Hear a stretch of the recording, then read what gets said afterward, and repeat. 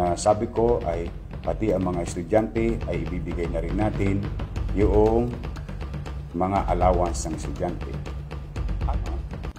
Ngayon mga kababayan, ah, natanggap na po namin galing sa pamunuan ng pamantasang lungsod ng Maynila ah, kay ah, President Leiko at sampu ng kanyang mga opisyales sa pamantasang lungsod ng Maynila ang listahan ng mga estudyante ng pamantasang lungsod ng Maynila.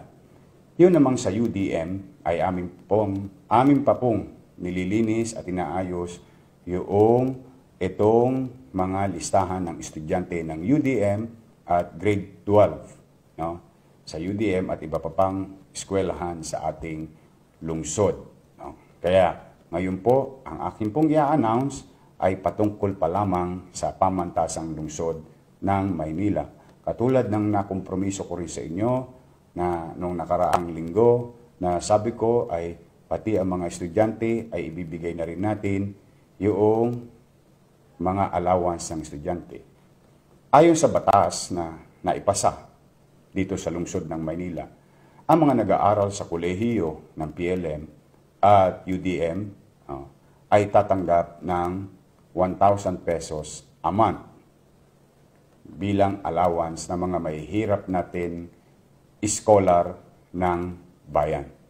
At isinama na rin natin yung ating mga K to 12 na o grade sorry, grade 12 students. Ang grade 12 students naman ay tatanggap ng 500 pesos a month. Ang batas na ipinapasa natin noong nakaraang taon ay naging epektibo noong Enero. At marami rin sa kanila ay nakatanggap na ng mga allowance noong mga unang buwan ng taong ito. Kaya po, bukas, oh, ito po ah, kung ano po ang gagawin natin sa PWD, ay ganun din po ang gagawin natin sa mga PLM students. Yung pera, yung listahan, ay dadalhin sa kani-kaniyang mga barangay officials sa lungsod ng Maynila. At kakailanganin natin ng tulong ng mga barangay official na sila naman ang mamamahagi ng allowance ng estudyante na kanilang sinasakop na nag-aaral sa pamantasang lungsod ng Maynila. Mayor, kailan po? Bukas. Mayor, magkano po ang matatanggap ng aming mga anak? O Mayor, bilang isang estudyante ng PLM, magkano po matatanggap ng isang PLM students? O, kung kayo ay hindi pa nabigyan at napabilang noong Enero, kayo po ay tatanggap ng 4,000 pesos bawat estudyante ng PLM. Yan po ay January, February, March at April.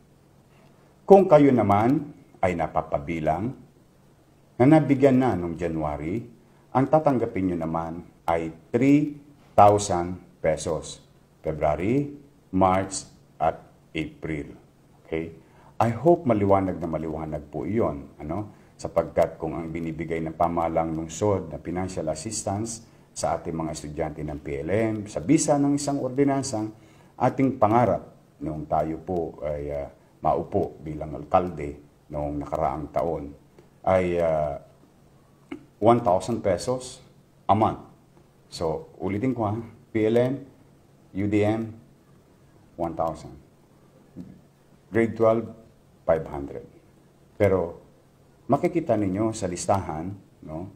Mayor, paano namin malalaman kung ako ang barangay official kung 3,000 ang ibibigay ko kay Petra at 4,000 naman ang ibibigay ko kay Pedro. Nakatala din sa listahang aming binigay at ibibigay sa ating mga barangay official ang pangalan, address, at kung magkano ang kanyang matatanggap na kanya namang pipirmahan ng recipient o nung estudyante. Nakasaad na po doon, kaya hindi na po kayo magkakaroon ng kalituhan. So sa mga tagapamantasang lungsod ng Maynila, no, ito man lamang, alam ko po na marami sa mga nag-aaral sa pamantasan ng lungsod ng Maynila ay mga mahihirap din. At bilang tugon naman sa inyo, kahit papaano may maitulong kayo sa inyong mga pamilya, Ah, ito naman ay uh, kaloob sa inyo bilang isang estudyante para magamit nyo sa pag-aaral, pero wala naman pong pasok. Kaya magagamit ninyo ang mga salaping ito upang maipantulong ninyo sa inyong mga magulang na maibili ng mga pangunahing pangangailangan ninyo sa inyong kanikaniyang pamilya at bahay. So, ang total po ng estudyante na bibigyan ay 2,680 students, no? amounting to 9,649,000. Mayor, kailan po ulit? Bukas din po. Kasabay ng PWDs. Sana po maliwanag sa ating lahat. Ngayon, Mayor, paano naman kami mga taga-UDM? Mayor, paano naman kami mga taga-solo parents? Huwag ko kayo mag-alala. No? Ah, at uh, di naman kaila sa inyo, na lagi ko sinasabi, nililinis namin ang data noong tayo ay naupo bilang alkalde ah, sapagkat maraming dumodoble-doble at yung particular na yung mga ibang mga PWDs at solo parent na kumukuha ng ID sa hindi opisyal na opisina ng pamalang lungsod para hindi masayang ang pera ng taong bayan at maging masinop ang inyong pamahalaan. Ito'y masusi na iniingatan ng inyong lingkod at ng inyong pamalang lungsod para sa kapakinabangan ng tunay na benepisyaryo ng mga ayuda ng gobyerno may krisis man o wala. So, hopefully, ay paliwanag namin sa inyo ng mabuti at again again, umasa kayo ay talagang pagpupuyatan namin ito uh, nang uh, maipaabot namin sa lalong madaling panahon, lalo na ngayon sa oras ng pangangailangan ng ating mga kababayan. So, yan lang po mga kababayan. At bukas, abangan nyo na naman ang update ng ating pamahalang lungsod sa kung ano pa ang mga naganap, magaganap at nagaganap sa ating pamayanan. Ngayon, bilang uh, panghuli mga kababayan, ako po ay nananawagan sa inyo ng patuloy na pakikiisa na sundin ang ECQ. Huwag na tayong lumabas kung hindi rin lang naman kailangan. Oh, at kung sakasakali, please, stay home, stay healthy, stay safe. Protect yourself. Proteksyonan ninyo ang inyong sarili. Kapag yun ay ginawa ninyo, para nyo na rin pinagmalasakitan at proteksyonan ang inyong mga mahal sa buhay. At kung sa